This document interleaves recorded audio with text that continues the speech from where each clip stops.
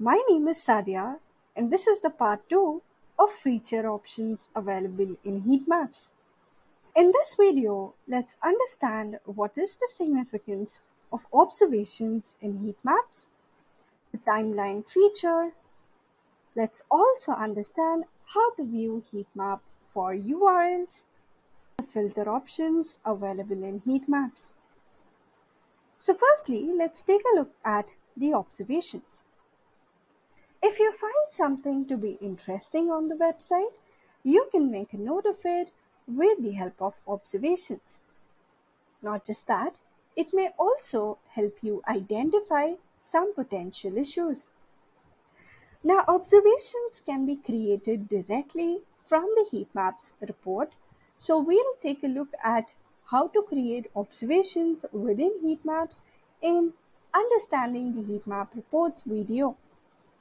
Moving forward, you have the timeline feature.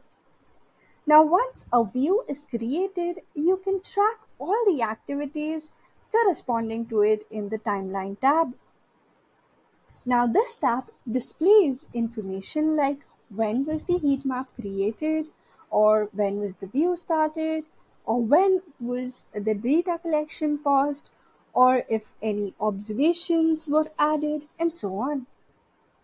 Moving forward, let's take a look at how to view heat maps for a URL.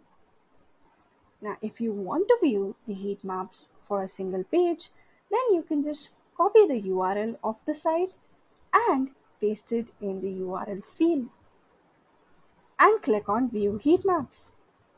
Not just that, you can also view a consolidated report of heat maps running on multiple pages on your website. In order to do that, you can just switch from simple to advanced mode.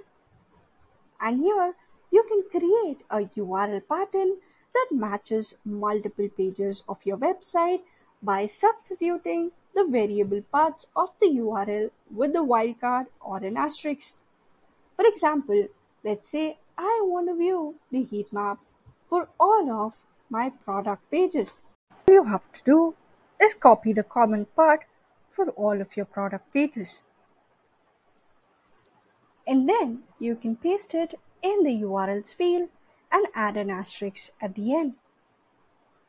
Now once you click on view heat maps, you will be able to see a consolidated report of heat map for multiple pages at once.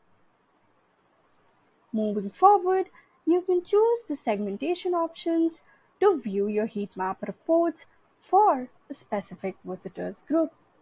You can generate the heat maps based on the data collected from specific visitors segments. You can create a custom segments using different conditions such as geographical location or a device type or any other user's behavior. To know more about segmentation, please take a look at the video of what is segmentation. Please note that by default, targeting is disabled and all the website visitors are tracked in the heat map reports. Moving forward, you can even filter out the data for a specific date range. All you have to do is select the date range option, choose the date range for which you want to view the reports, and filter the heat maps accordingly. You can view the reports for the last 30 days period, last 7 days, yesterday or today. Moving forward, you have the option to enable navigation. Once you select the enable navigation mode, then you can access different pages on your website.